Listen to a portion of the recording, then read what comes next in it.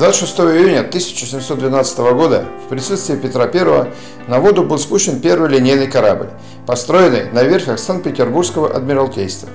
Так как он был заложен в декабре 1709 года, вскоре после Полтавской битвы, то и назван он был Петром в честь нее – Полтава.